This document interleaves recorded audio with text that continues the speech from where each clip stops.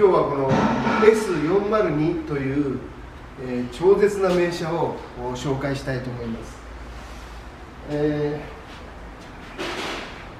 ー4と頭につくのがあレガシーです。頭に2がつくのがあ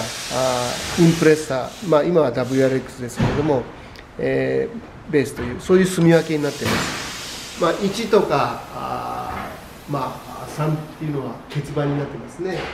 えーで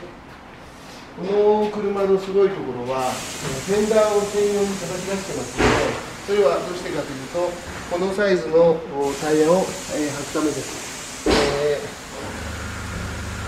これはですね235の40の18インチという、えーサイズになるんですけれども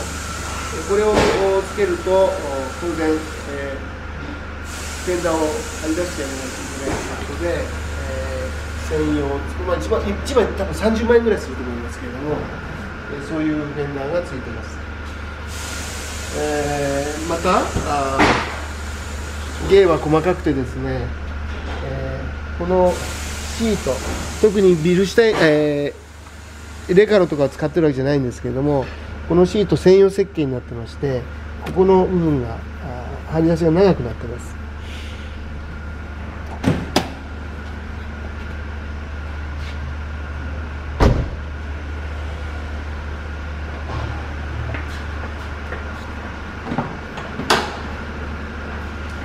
エンジンは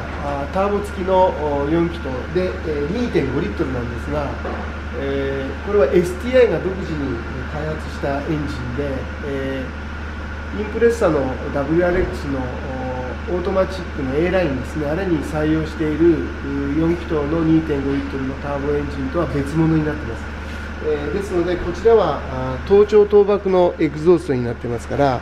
えーかなり、え性能的には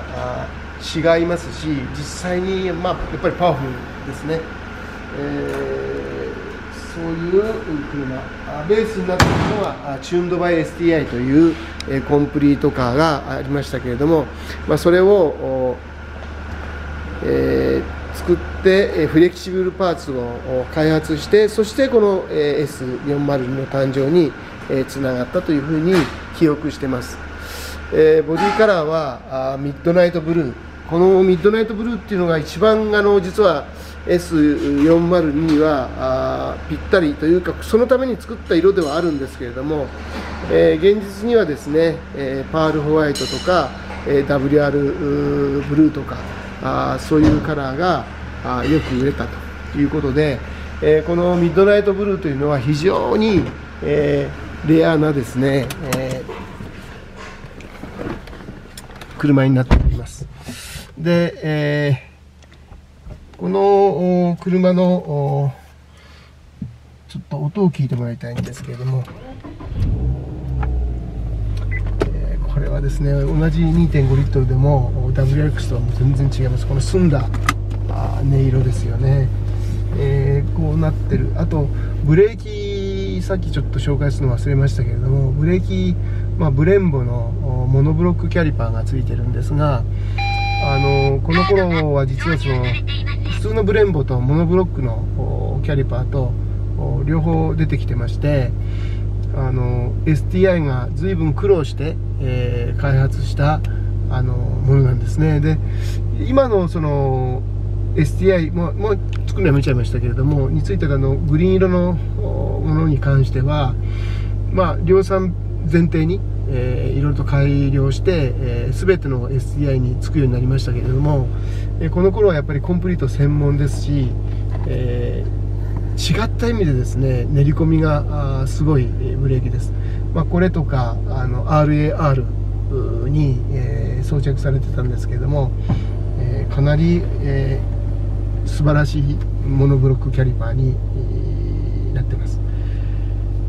えーまあ、本当はですね、え6気筒エンジンを積む前提で、えー開発してました。まあもね時効だからいいと思うんですけれども6発で、えー開発が始まってまして最初この計画ができた時にちょっと話を相談されたことがありまして、えー、一言で、まあ、600万のレガシー買うっていう話だったんですよね。いいじゃないですかと、えー、申し上げたんですけれどもやっぱりちょっとそこまでの、ねえ、度胸はなかったというか、まあ、難しかったんでしょうね、えー、結局このままロキトを積もうとするとちょっと何かがあったみたいですね。ですからあの大幅なあフロントストラクチャーいわゆるフロントの、えー、構成にですね、えー、何か大幅なあの手を入れる必要があったようでそれをするとやっぱり価格的にちょっと難しいところがあったようで、まあ、そこからぐらいですよね。だんだんだんだんあの STI がロキトにチャレンジしてるんですけどもチャレンジするんだけれども現実には出てこないっていうのの繰り返しでとうとう平川社長も、えー、諦めちゃったんですよね、えー、レガシーのあの S403 がロキで生まれる日を楽しみに待ってたんですけれども、えー、まあ、そこまでをスバルの方がやらせる度胸がなかったのかな SDI がむしろやりたくてもスバルがやらせる度胸がなかったというのが現実じゃないかなと思いますね。うんまあ、だからゆとりだって言うんですけどね。えということで、えー、これを走らせてみようと思うんですけれども、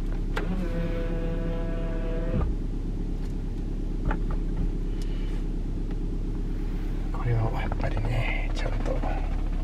ね、330、332か、82か。まあ、これは402台の限定車。ね。えー、完売しましたね。これは402台、えー、きっちり売りました。まああのー、今のように、えー、出せばすぐ全部売れるっていう時代じゃなくて随分あの手取り足取り頑張って、えー、手をつないでですね、えー、やってきたんですけれども、えー、久しぶりに動かすのでちょっとブレーキの表面が参加してるところが音出してますけれども、えー、ちょっと残念ながら雨が降ってきちゃいました。もうちょっと早く出られるとよかったんですが今日忙しくてですね、えー、なかなか時間が思うように取れない、えー、けどえー、皆さんから動画楽しみにしてるっていう、えー、お声をいただくので、えー、ようやくあの自粛もかなり解除になって今日もいろんなお客さんに寄っていただいて、えー、応援していただいてますので、え、今日はこの実はちょっととっておきの車なんですねこれ、えー、とっておきのこの 車を、え、ちょうど掃除したのでねあのギャラリーを、ギャラリー掃除した時にこの車、え表に出しておきまして、え紹介したいと思います。ここが綺麗なんですよね。やっぱりレガシーはね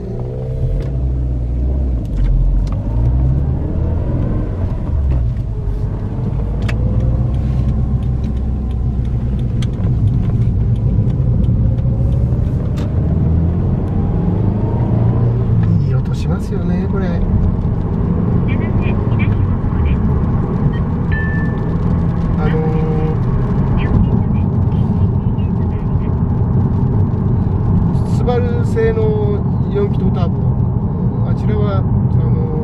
あれはあれでスバルの開発陣がエンジニアが精魂込めて北海道で練り上げたって言ってましたけど、えー、パンチのある耐久性もいい輸出にも使えるエンジンねでこっちはですねやっぱり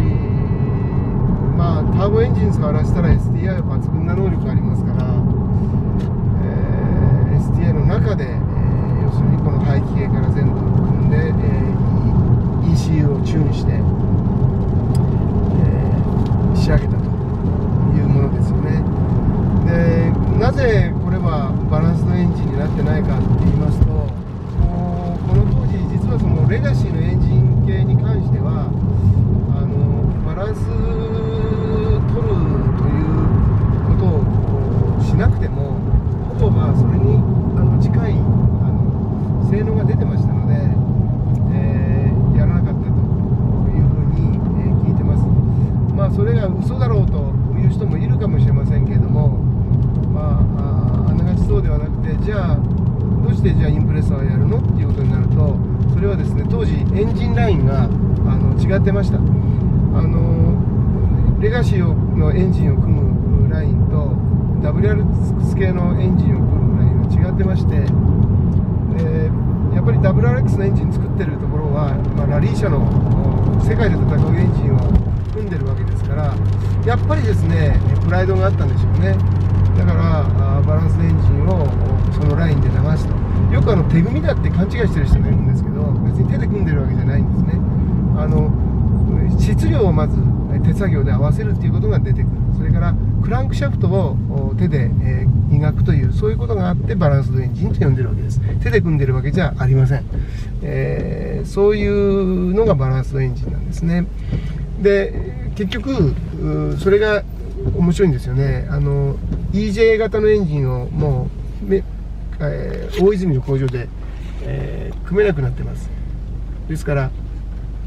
え組めなくなったというか組まなくなって、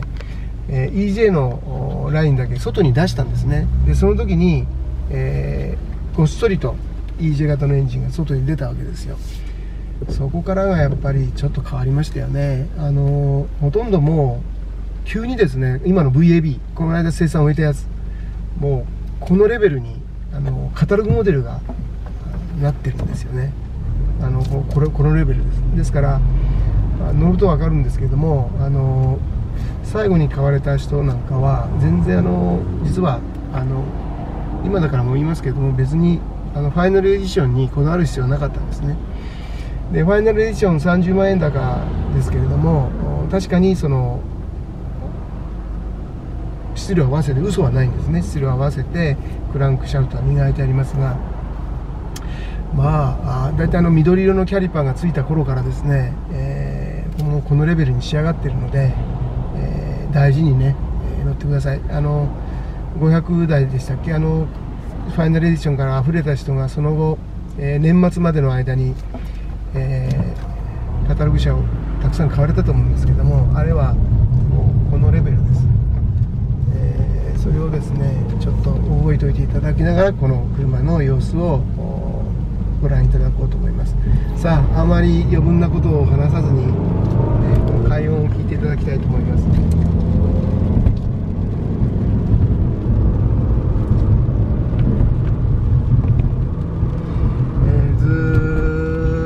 ギャラリーで眠らせてました。こういう質の高い車っていうのは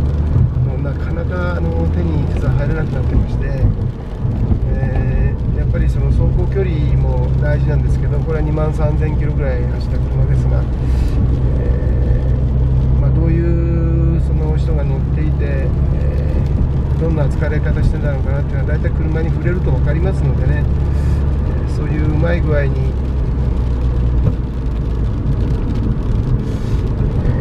来られた車をですねやっぱりあの太陽にあんまりさらしておきたくないんですよね。えー、ということで、えー、STI ギャラリーと名付けた工房のスバル工房の奥にある整備工房の奥にあるスペースで、この車と S206 をずっとあの温存してますけれどもこのこの滑らかなフィーリング車全体がですねやっぱり違うんですね。何ていうんですかねあの通常の車とは違うやっぱりオーラを乗った瞬間に感じるんですね。でどうしてこの時代だけあのこういう車ができたのかってそれは今に今はできないあの何かがあったんですけれどもそれはですね、えー、車のバランスをですね一旦上手に崩すんですね、えー、その頃のコーディネーターはすごいと思います。上手にですねバランスを崩すんです。それも悪い方向には崩すんじゃなくってさっきのように見せたように、まず大きなタイヤをちょっと使うと車っていうのはバランス崩れるんですね。でその大きなタイヤをつけるためには車体全体シャシー全体の能力を上げてやらないとあのいい車にはならないんですね。でその大きいタイヤをつけることを前提に、えー、いろんなところを変えていってちょっとバランスを崩して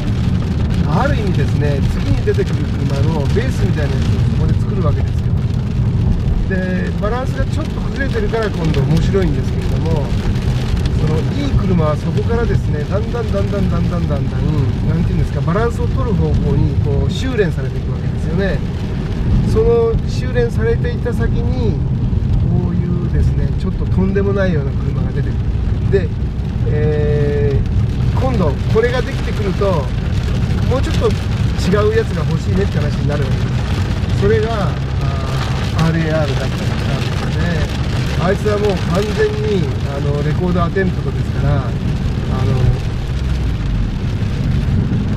これをもっと強烈にした。車ですでしかもですねこの頃は、えー、まあ、こんなこと言っていけないんですけどもちゃんとこれをそのニュルブルクリンクに持って行って開発してたわけですよ、えー、今ちょっとバスが前に来ちゃったんで、えー、車止めましたけれども、えーミルブルクリンクでこれは開発してます、え、その時のトップガンは辰巳さんですよね、え、ですからニュルでやっぱりちゃんと走ってる車はものすごくいいです。でやっぱニュルで走ってない車は片手打ちです。あのいくらあ国内で速くて、えー、まあなんていうんですか、えー、サーキットで速くて1分何秒でこう走ったとかですねそういう数値的なあ実証はできてもそれだけでは片手打ちですね。やっぱりニルブルクリニックでももえ持っていって、えー、スバルはちゃんと車を開発してその上で、えー、コンプリートとして売らないといけないなというふうに、えー、今もすごく思います。さあこの上のコースバスが先走ってますので雨降ってますし、えもうちょっと今日は走るのやめて、え戻ろうと思いますけれども、え、まあ、こんな天気になっちゃいましてあまりあの音を楽しんでもらえない、まあ、もらえない状態ですよね、えー、でも大体このカメラの動きだとか車のこのしなやかな強靭でしなやかって当時言ってましたけれども、えー、この味わい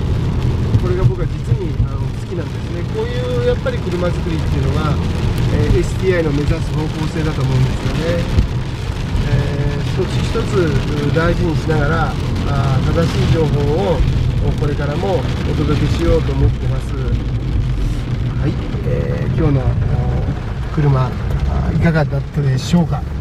えー、なかなか忙しい日が続いてまして明日はちょっと出張があります。明日動画も上げれないしようとしたらブログの更新もできないかもしれませんが、えー、できてたら、えー、またコメントください、えー、ありがとうございました。